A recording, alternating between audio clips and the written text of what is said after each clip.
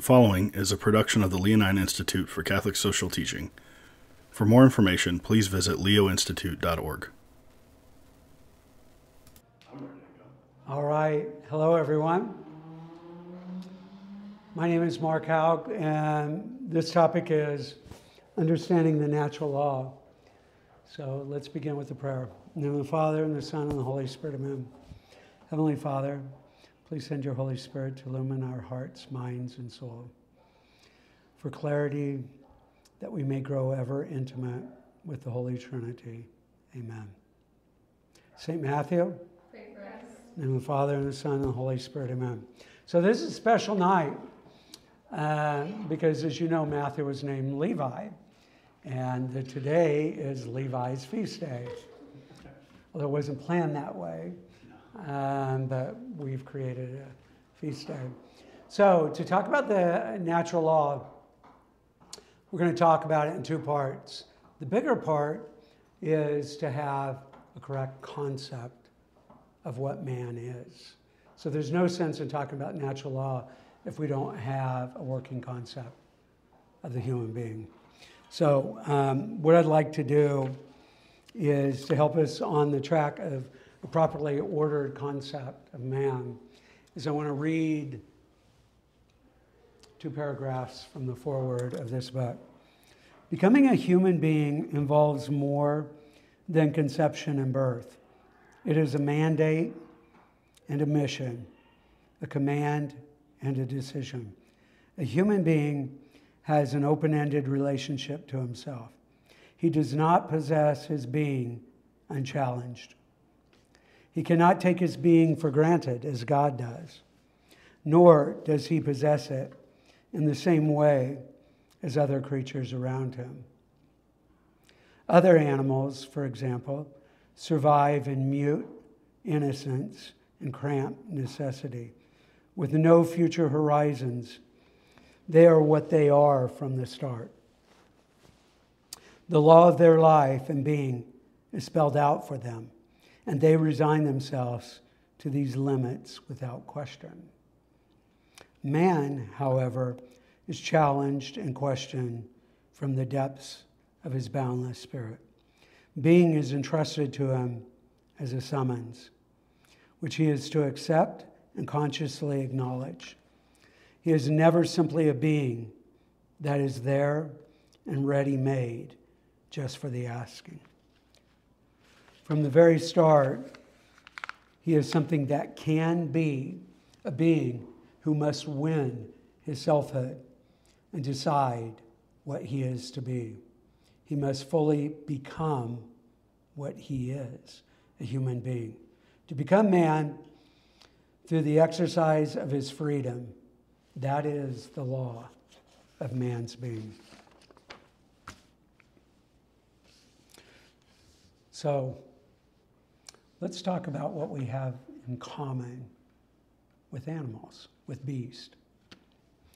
We have two things. And I'm afraid I can't cite the reference, but it's a very good reference because it has a lasting impression on me. But you can ask for yourself or answer for yourself. Man and beast share survival instinct. Man and beast share the procreative instinct.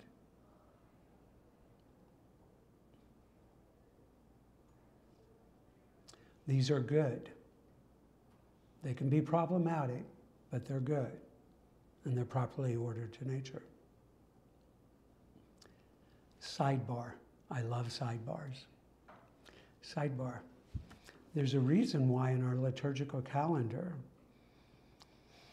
we acknowledge saints like popes, abbots, priests, deacons, Ephraim, bishops. But we also, in the liturgical calendar, acknowledge martyrs and virgins. Are we clear? Those are things where people have gone extraordinary. This doesn't necessarily mean the survival instinct and the procreative instinct are bad. It's that those are ordinary. martyrs and virgins are called to the extraordinary. But you'll notice that they relate right back to those two commonalities with beast. But there's more. Man also, where beast stops. Genesis 1 26, Genesis 1 27. Man is made in the image of God. Now, you've heard image and likeness. We're not going to talk about translations. Dare I get into translation wars? No. What I want to say, though, is the early church fathers commented on Genesis 126 and 127 more than any other passage in Genesis. What I'd like to leave you with, which is a very scholarly understanding, and not get into all the image and likeness, but we're going to focus on image, not likeness. Likeness is generally understood as the perfection of what it means because we're working out our being, like I just read in the foreword. We're going to focus on the image of God. And that is described as three things reason, will, and authority. So we're in this strange tension between beast and God, where we share nature with beast, we share nature with God. And so the foreword I just read you, I'm going to read you again. You thought I was bad in the classroom, repeating myself. There's no escape from the Haug repetition.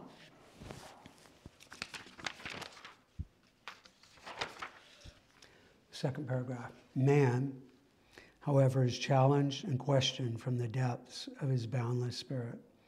Being is entrusted to him as a summons, which he is to accept and consciously acknowledge. He is never simply a being that is there and ready made, precisely, just for the asking. From the very start,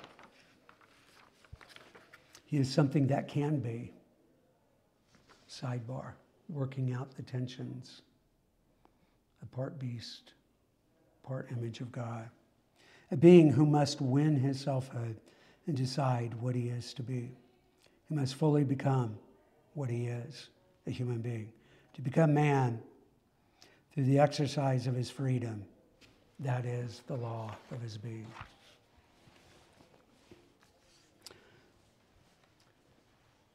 That's part of the concept of man. But now we're going to talk about the doing that's involved in the being. And what does that look like? So, we all have a vague notion of what ethics are. But when it gets right down to it, the Greeks have given us what we need to know. It's simply what ought you do. It's an imperative.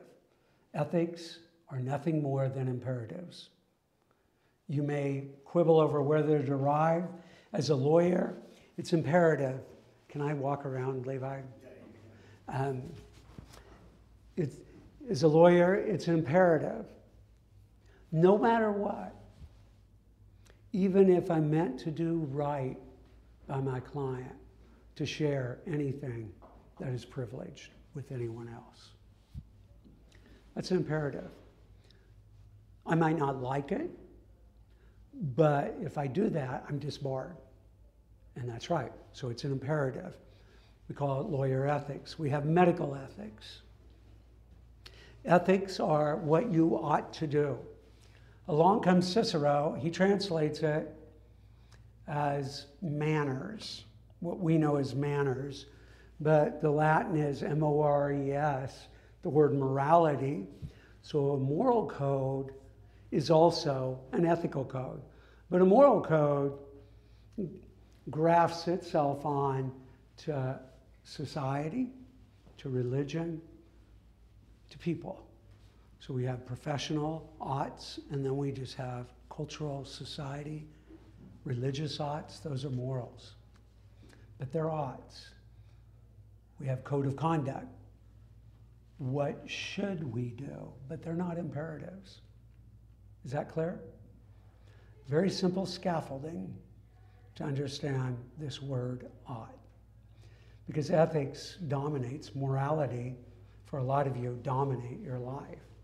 And so we, we live in this world of ought. And we're nowhere near natural law yet. We're still talking about ethics. So I want to talk about ethics for a moment because to do so is to help you place natural law in the proper context, and then we'll talk about what natural law is. Ethics, what we ought to do. C.S. Lewis has a brilliant piece in book one, chapter, book three, chapter one, where he uses a metaphor of ships. We're going to talk about a fleet of ships, we're going to talk about three aspects. Now, I'm going to use his metaphor in a different way.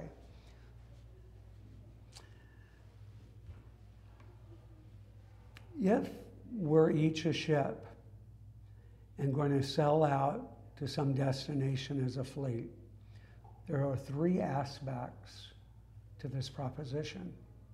One, that we, the ship, are ship shape, that we can make the voyage. Yes? And that we know how to operate the ship. There's really two aspects of number one that we are ship shape and that we can operate the ship. Number two, when we sell, when we set sail, we don't want to bump into each other, which would be terrible. I mean, Titanic just ran into a cube of ice, and look what happened to it, right? So, yeah, you don't want your ships to bump into each other. Number three, you have to know where your destination is. Got it? One, two, three. Ethics for the last 60 or 70 years has been focused on number two. Ethics. So if you read Jeremy Bentham, John Stuart Mill, the utilitarian stuff, or you read Immanuel Kant, the categorical imperative, you read this, and whole classes and textbooks are built around this stuff and exercises. Watch carefully. Look what's happening. They're telling you how to not bump into each other. Read them very carefully. Even the categorical imperative, which is cloaked in this idea of universality, is really something about not bumping into each other because that's where it's directed. Does that make sense to you? Even if you don't know these guys, that's the state of ethics today. Now, when are we going to talk about natural law? Well, now we're going to ease into it. Natural law ethics is not concerned about you bumping into each other because you won't if A, number one, you're ship shape and you know how to operate the ship. That's number one. And you know what your destination is. Because if you know those, you're not going to bump. Make sense? Natural law is about being shipshape and knowing your destination. That is what natural law is about. You can read about it, you'll get frustrated. I got into this precisely because I was on a board with lawyers and people lovingly invoked the natural law, but it became very clear that none of us knew what we were talking about. And that's okay because always beware of those words, and you know what they are. That you know what they are, but you just pray to God. No one's going to ever ask you to define them. Randomness, right? Mystery. Well, we've got a working definition, don't we, Nathan? Um, There's so many of them, aren't there? natural law is one of those, so um, I thought maybe it would do well to see what this is all about. So, fortunately, we get through divine revelation all of the good stuff of Aristotle, Plato, St. Isidore, but Thomas puts it together. He gives us an article, a question on the natural law, which is considered among scholars, not because it's Thomas, as the best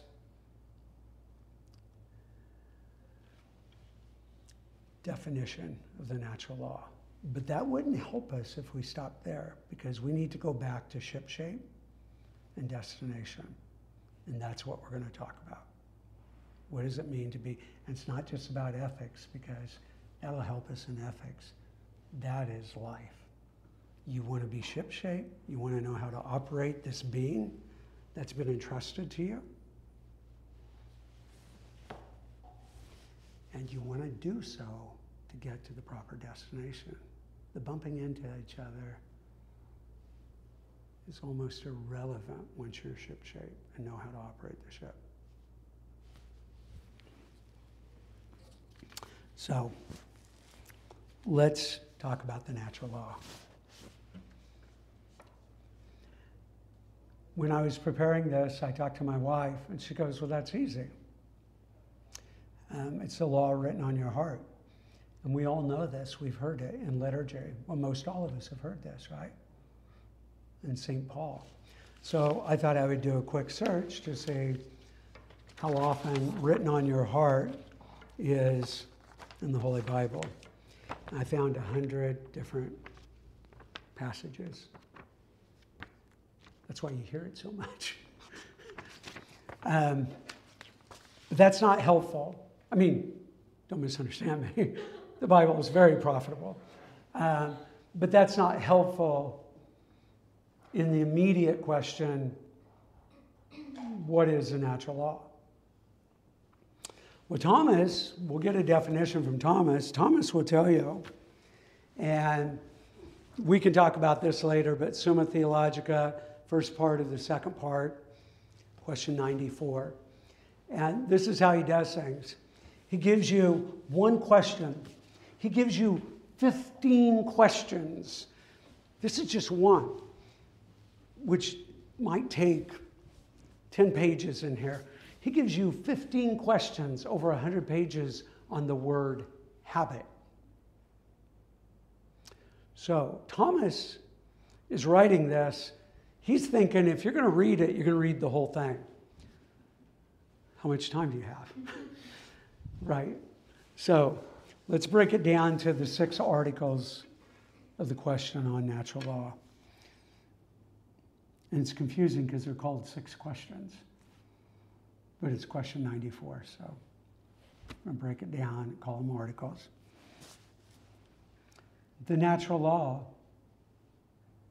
is God's law, known by reason without divine revelation. When St. Paul says, written on your heart, or Jeremiah says, written on your heart, there you have it. It's something that you can know by reason even without divine revelation. That's a natural law.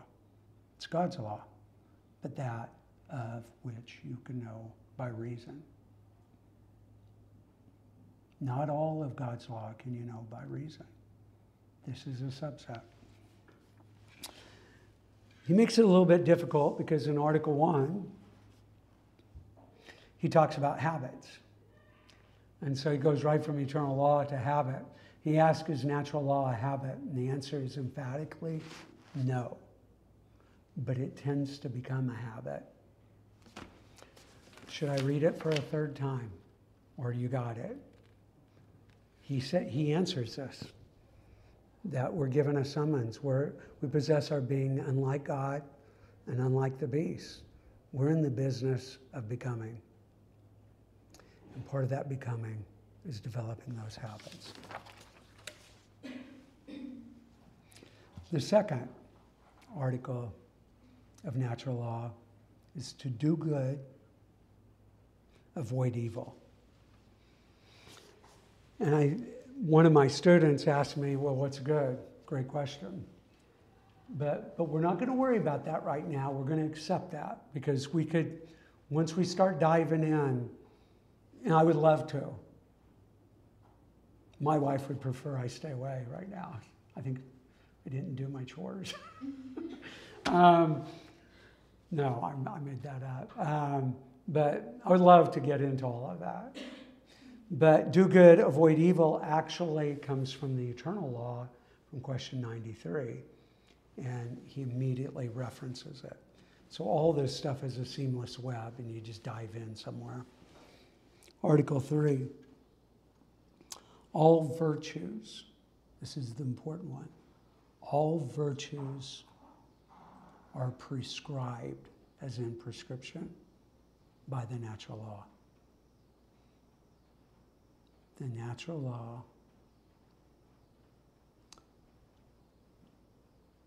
suggest the virtues as the way of fulfilling your being. We'll come back to that. Final three articles. The natural law is universal, it's common to all people.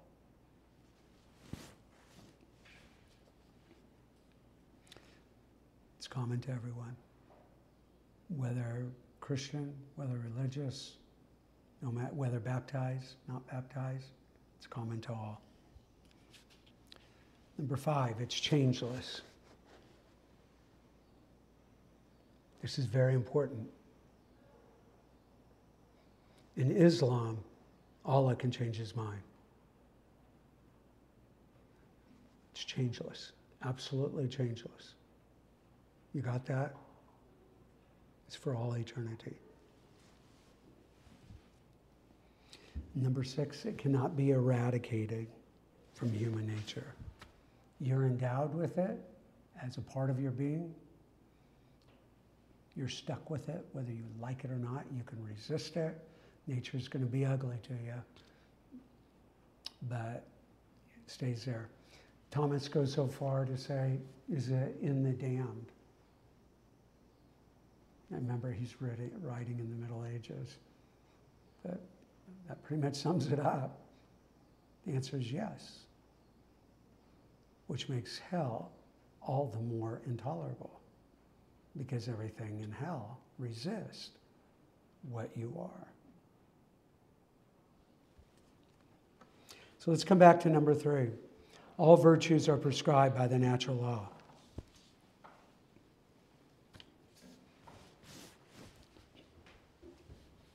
My favorite author, you will never go wrong with this man. He's considered the greatest Thomistic philosopher of the 20th century. If you read the introduction of this book, you'll understand his greatness.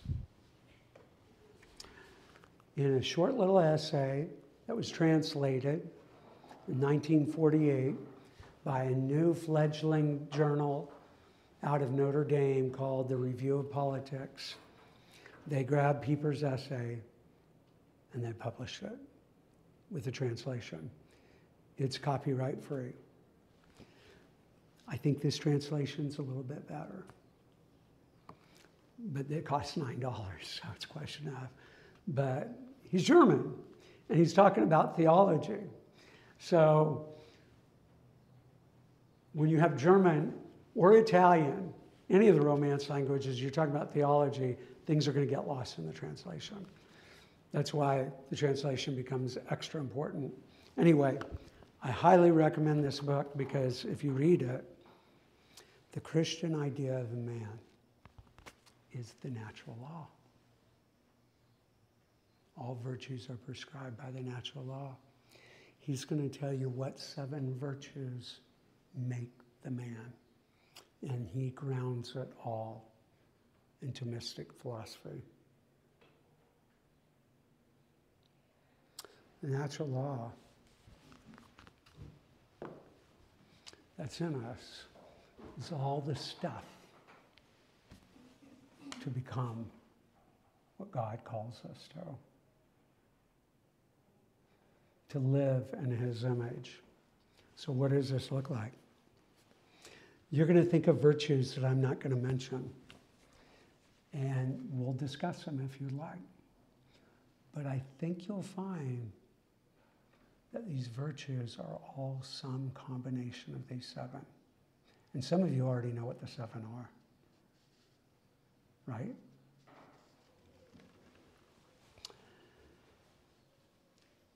He goes to great length to, in this book to talk about the four cardinal virtues. Now, I'm going to give you the short version of all the cardinal virtues. There's a medium version, and then there is the very, very good version. If you care enough about to know this through reason, do not ignore this book. Place it next to your Bible. Okay, that's this is drama for trying to lighten up the mood. All right. Four cardinal virtues. Unlike the Greeks, the mother of all the cardinal virtues is prudence. Greeks didn't put it this way. They, they focus on justice and temperance. But Pieper makes an excellent argument that you'll find persuasive Prudence is essential to understand justice, fortitude, and temperance. So, what are the short versions? Prudence is to know what is true and, and to live your life accordingly, the free will. To every time you sin and you know it's a sin, you didn't do the second part. True? Yeah. So don't think, well, if I know it, I'm going to do it. Don't let your enthusiasm cause you pride. Prudence, to know what is true and to live within that truth. Coming full circle, he will tell you how to live within that truth in less than 40 pages. Matthew 5 3. Blessed are the poor in spirit, they shall inherit. Don't you hate that when the, someone quotes on Beatitudes? I, I know what they say, but inherit the kingdom of heaven? Yeah. Or the kingdom of God translations, you know. It will also talk about one of the greatest liturgical texts that we hear as Catholics Philippians 2, verses 6 through 11. I'll leave it to you to look it up. You see it every month. And if you pray the office, you see it every week.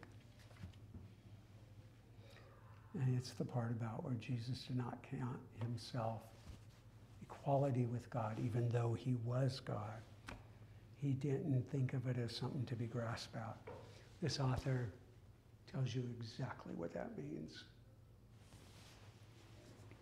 Prudence, to know what is true and then to live according to it. Justice, the short definition, the very short one is to give each person their proper due. Do you see why prudence is essential to be able to do that? Fortitude, to do what you ought to do even when you don't want to do it. And now we're starting to feel the ethical imperative fall on us. And temperance is just the other side of fortitude to not do what you want to when you ought not do it.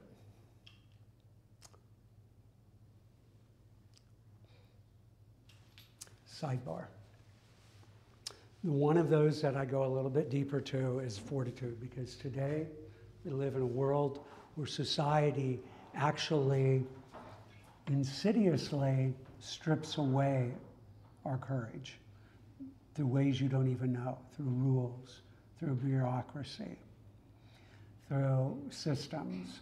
We're guilty of it, others are guilty of it. People love certainty, so they create artificial rules. And so fortitude is one that you feel pressed upon you every day.